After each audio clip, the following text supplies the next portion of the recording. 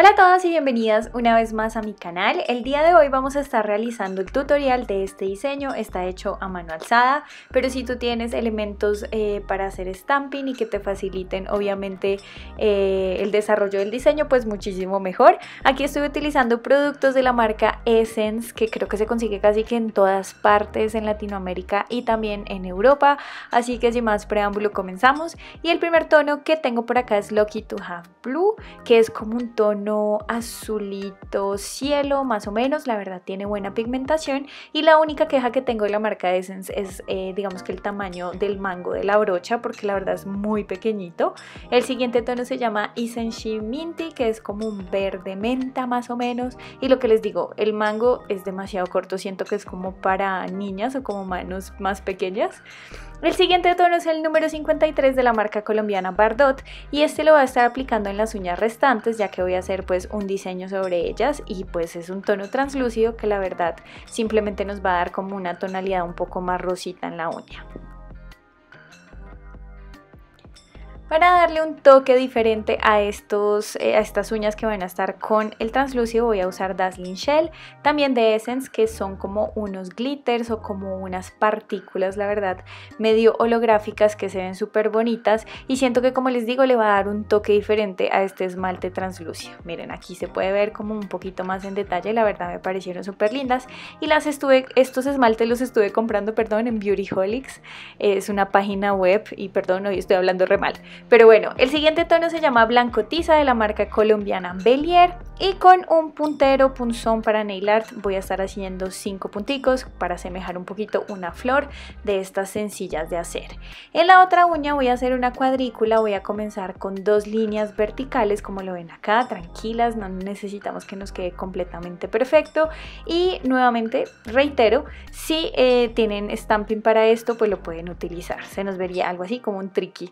Voy a tomar nuevamente este tono menta, la verdad como les decía me sorprende que tengan buena pigmentación estos esmaltes. Ya los había probado antes, pero no tanto colores, sino efectos y me parecen súper chéveres los esmaltes de efecto de esta marca, eh, pero no había probado tantos tonos y estoy gratamente sorprendida, lo que les digo tiene buen pigmento.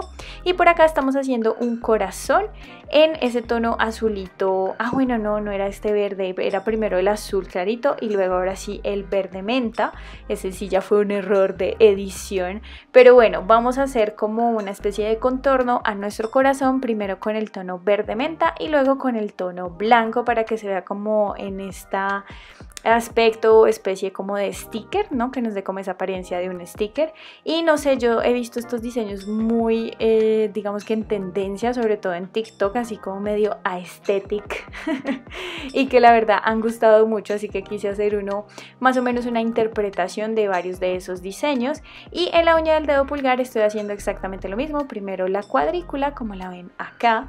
Y luego de eso, con el puntero hacemos dos punticos y a partir de ellos vamos a ir formando el corazón, como que unimos estos dos punticos eh, como si fuera un triángulo más o menos y luego lo vamos a rellenar. Yo aquí estoy utilizando un punzón para nail art, eh, perdón, no un punzón, no les digo que hoy estoy hablando re mal, este es un eh, pincel liner de 5mm, ustedes saben que compro mis pinceles en Nails Station, por si les interesa el link se los dejo en la cajita de información. Y acá vamos a repetir el proceso, vamos a delinear el corazón con el tono menta más oscuro de esta manera y luego vamos a tomar el blanco y haremos exactamente lo mismo.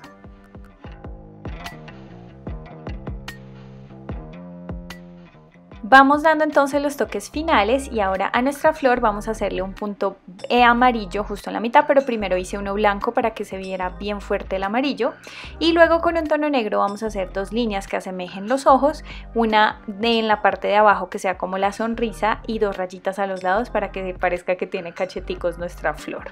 Y luego en lo que nos queda voy a estar haciendo flores más pequeñas, a estas ya no les voy a hacer carita porque tendría que ser demasiado pequeña y tampoco no somos aquí expertas en micropintura, entonces simplemente vamos a hacerle el punto amarillo en la mitad y se nos vería algo así. Para finalizar voy a aplicar este top coat que dice que es resistente pues al alcohol y como a los antibacteriales por todo esto del COVID que acaba de pasar y pues lo que voy a hacer es aplicarlo, la verdad me gustó la consistencia de este brillo, no es ni muy espeso pero tampoco como muy líquido y algo también que me gustó es que no corre tan fácilmente el diseño, igualmente ten en cuenta que esto depende muchísimo de la aplicación, entonces aplicamos una eh, gotica del esmalte un poquito generosa y la vamos a ir distribuyendo en la uña. Y tenemos por acá el resultado de este tutorial. Digamos que al inicio yo tenía mis dudas cuando estuve como pensando en este diseño. En mi cabeza era una cosa, pero yo dije, ¿será que en la realidad se va a ver igual?